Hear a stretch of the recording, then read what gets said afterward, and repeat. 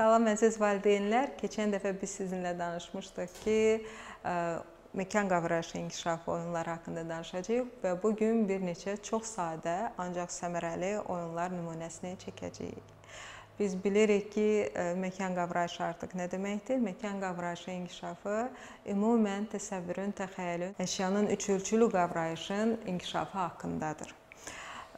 Hamımız bilirik təcrübəmizdən ki, zorla sırınan biliklər uşaqlar tərəfindən yaxşı mənimsənilmir. İnkişaf etdirmək istədiyimiz tərəfləri biz oyunlarda və ya əyləncəli tapşırıqlarda həyata keçirə bilirik. Gəlin e, ən asan və çox səmərəli olan, özü 3 ölçülü məkan qavrayışını çox yaxşı inkişaf etdirən Oriqamidən başlayaq. Oriqami çox qədim sənətdir. O kağız vasitəsilə fiqurların düzəldilməsidir. Bu uşaqlarda qabarıq həcm anlayışını inkişaf etdirir və bu əslində çox sadədir. Biz keçən məşğələmizdə bundan istifadə etmişdik. Oriqami ilə yanaşı yapma, kəsmə və sairələrində istifadə edə bilərik. Əlbəttə ki, stol üstü oyunlar olan domino, şahmat və s. oyunlar da məkan qavrayışını yaxşı inkişaf etdirir. Sonra biz uşaqlarla xəritə çəkə bilərik, yaşadığımız yerin maketini hazırlaya bilərik. Əgər siz xatırlayırsınızsa, keçən məşğələmizdə biz küçəmizin maketini hazırlamışdıq. Siz o maketi özünüzün real yaşadığınız yerin obyektləri ilə zənginləşdirə bilərsiniz və sonra da daha böyük maket hazırlaya bilərsiniz və orada evinizə getmək üçün ən qısa yolu marşrutunu çizə bilərsiniz. Bu uşaqlar tərəfindən çox e, həvəslə və sevinclə qarşılanılır və uşaqların məkan qavrayışını çox yaxşı inkişaf etdirir. Bununla yanaşı siz uşaqlarla çölə çıxdıqda gedəcəyiniz marşrutu müzakirə edə bilərsiniz və necə gedəcəyiniz haqqında danışa bilərsiniz. Daha sonra hamımızın sevdiyi tapmacalar. Tapmacalar uşaqların məkan qavrayışının inkişafı üçün çox yaxşı vasitədir.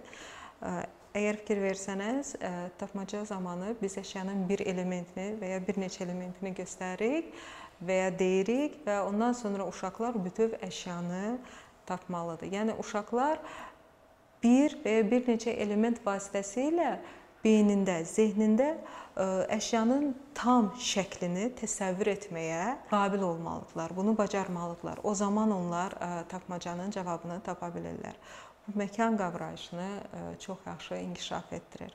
Bu məqamda mən bir məsələyə toxunmaq istəyirəm, çox vacib məsələdir.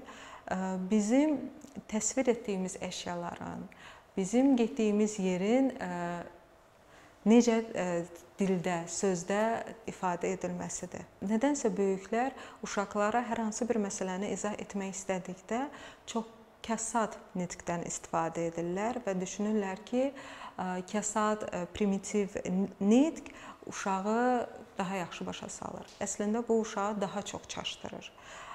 Məsələn, bir ifadə biz mən tez-tez rastlaşıram, qəşəng ifadəsi, yaxşı sözü.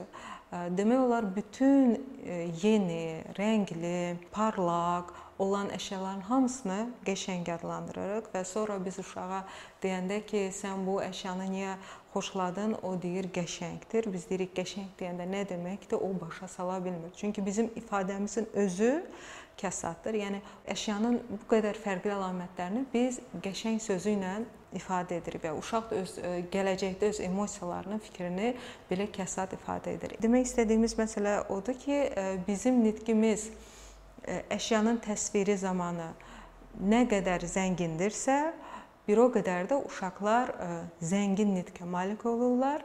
Onların söz lüğəti artır. İkinci, onlar bizi daha yaxşı və dəqiq başa düşməyə başlayırlar və üçüncü öz fikrini düzgün ifadə etməyi öyrənirlər. Ona görə də şəffaf, həcm, qabarıq, yastı, hamar, uzun, qısa, böyük, kiçik nazik, qalın, hündür, uca, alçaq kimi sözlərdən istifadə etməkdən çəkinməyin. Düşünməyin ki, uşaq üçün bunlar artıq sözlərdir. Yox, bu uşaqlara çox lazımlıdır və əsasən elə bu vaxtı məkan qavrayışının inkişaf etdiyi zaman bu sözləri bilmək onlar üçün gələcəkdə daha dəqiq, beynində daha düzgün təsəvvürə gətirib çıxaracaqdır. Bundan əlavə siz uşaqlarınızla günün doğuşu və batışı oyununu da oynaya bilərsiniz.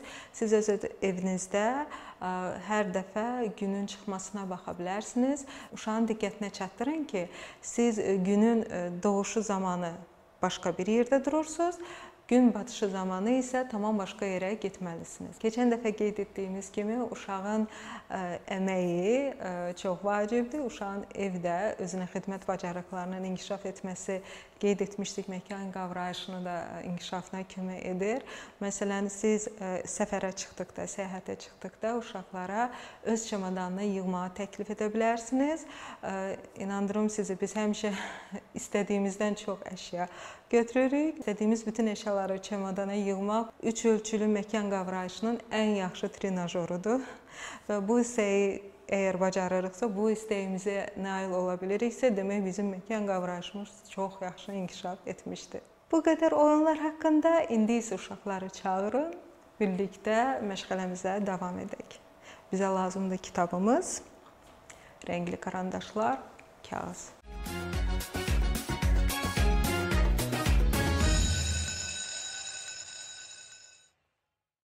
Dostlar, bu gün biz yeni hərflərlə tanış olacağıq. İndi gördüyünüz e, hərf ə hərfi, ə səsidir. Gəlin baxaq görək ə səsi ilə hansı əşyaları tanıyırıq. Məsələn, e, əncir meyvəsini tanıyırıq, ərik meyvəsini tanıyırıq. Onlar ə səsi ilə başlayır. Əl bizim əl bizim əlimizdə ə səsi ilə başlayır. Əmzik körpələrin istifadə etdiyi əşyada ə səsi ilə başlayır. Əlcək əlimizə taxdığımız əlcəkdə ə səsi ilə başlayır və ələk ələk də ə səsi ilə başlayır. Gəlin ə hərfinə baxaq.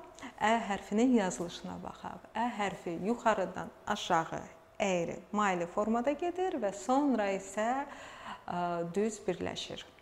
Baxın, bu şəkildə ə hərfi yazılır. Biz qələmi götürürük. Mən maylı aşağı düşdüm, sonra maylı yuxarı qalxdım və düz getdim. Kiçik ə və böyük ə eyni yazılır, eyni cürdür. İndi isə baxaq görək, yadımıza salaq hansı sözlər ə səsi ilə başlayır. Hansı sözlər ə səsi ilə başlayacaq? Biz onu ə hərfi ilə birləşdirəcəyik. Baxaq şəklə. Əmzik. Əmzik. Bəli, ə səsi ilə başlayır. Nərdivan. Yox. N səsi ilə başlayır yadınızda. Əlcək. Doğru. Əlcək ə səsi ilə başlayır. Diqqətli olun. Nar. Hmm, nar. Əlbəttə, orada ə səsi yoxdur. Ərik. Ərik. Bəli, razıyam. Orada ə səsi var. Demək, ə hərfinə birləşəcək. Və gördüyünüz şəkildə ət. Onda diqqətlə qulaq asın, ət. Bəli, ə səsi var. Afərin dostlar. Şəkildə gördüyünüz kimdir? Nənədir. Doğru, nənədir. Uşaqlar biz artıq nənə sözünü yaza biləcəyik. Biz ana sözünü yaza bilirdik, doğru? İndi isə nənə sözünü yaza biləcəyik. Çünki biz n hərfini tanıyırıq və bu gün ə səsini də, ə hərfini də tanıdıq. Gəlin birlikdə yazaq. Burada böyük hərflərlə yazılıb nənə sözü, Burada isə kiçik hərflərlə yazılıb. Gəlin birinci böyük hərflərlə yazaq, sonra isə kiçik hərflərlə davam edək. Afərin dostlar. Nənə bizə baxır, gülümsəyir. Dostlar, mən indi xatırladım ki, biz ana sözünü də yazmağı bacarırıq. Bax burada bizim tülkümüz ə, ana sözü üzərindən getmək istəyir. Hansı hərfləri birləşdirsək ana sözü alınacaq. Gəlin birlikdə birləşdirək. Ana sözünü xatırlayaq diqqətlə baxın ana sözünə, hərflərə diqqətlə baxın və onun üzəri ilə gedək. Baxın, biz də başlayırıq burdan. Demək, bizə birləşəcək A, n, n, yenə də a. Ana sözü üçün biz bu marşrutu seçdik. İndi isə uşaqlar, biz ana sözünü yazacağıq və nənə sözünü yazacağıq. Dostlar, biz ana və nənə sözünü yazdıq. Dostlar, diqqətli olun. Biz bu gün ikinci yeni hərf öyrənəcəyik və səslə tanış olacağıq. Bu t səsi T hərfidir. Diqqətlə qulaq asaq, T səsi hansı sözlərdə rast gəlinir? Baxaq. Tülkü rast gəlinir, düzdür? Bizim dostumuz elə T səsi ilə başlayır. Tülkü. Tar musiqili alətimizdə də T səsi vardır və T səsi ilə başlayır. Baxaq görək hansı əşyalar T səsi ilə başlayır. Turp. Bəli, turp T səsi ilə başlayır. Timsah, tar, tort, tısbağa, top. Onlar T səsi ilə başlayır. Bu isə T hərfidir. Böyük T hərfi. T hərfi çox asandır. İki e, gördüyünüz kimi xəttdən ibarətdir. E, bir xətt e, biz yuxarıdan həmişə başlayırıq T hərfini yazanda. Yuxarıdan başlayıb aşağı düşürük. Baxın belə. Biz bir düz xətt çəkdik yuxarıdan və ortadan bir düz xətt çəkdik. İndi isə gəlin diqqətlə baxaq, görək hansı burada verilən şəkillərdən, sözlərdən t səsi ilə başlayır. Hansı sözlər t səsi ilə başlasa, biz onları t hərfi ilə birləşdirəcəyik. Məsələn, biz başlayaq timsahdan. Timsah t səsi ilə başlayırmı? Bəli, başlayır. O zaman biz onu t hərfi ilə birləşdirəcəyik. Birləşdirdik. Top. Bəli, biz artıq bilirik. Top da t səsi ilə başlayır. Alma. Alma. Orada t səsini eşidirsinizmi? Yox, əlbəttə. Arı. Arı hansı səslə başlayır? Əlbəttə A səsi ilə başlayır, T səsi ilə yox. Tütək, tütək. Bəli, tütək T səsi ilə başlayır. Birləşdiririk. Afərin dostlar. Bax bu Qarabağ atıdır və at sözü belə yazılır.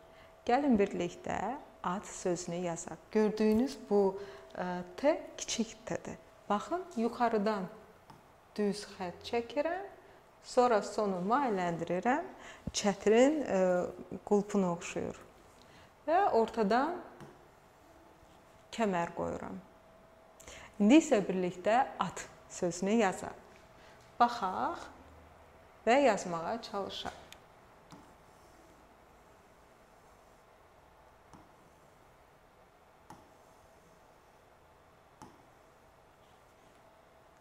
At at sözü yazılmışdı. İndi isə ata sözünü yazaq. Ata sözü A, T və A hərfindən ibarətdir. Gəlin yazaq. Biz ata sözünün üstündən keçdik. Nənə sözünün də üstündən keçməkdə fayda var. Gəlin başlayaq. Diqqətlə baxın. Bu nənə sözüdür.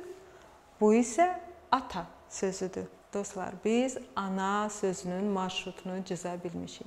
Bəs ata sözünün marşrutunu necə cızmalıyıq? Diqqətlə baxaq. Bizdə A gəlməlidir T-yə. T digər A ilə birləşməlidir. Və sonra ata sözü bizdə yaranacaqdır.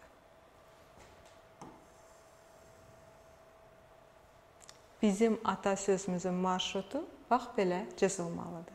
Dostlar, biz ə, a, n, t hərflərini tanımaqla nəsil ağacımızı düzəldə bilirik.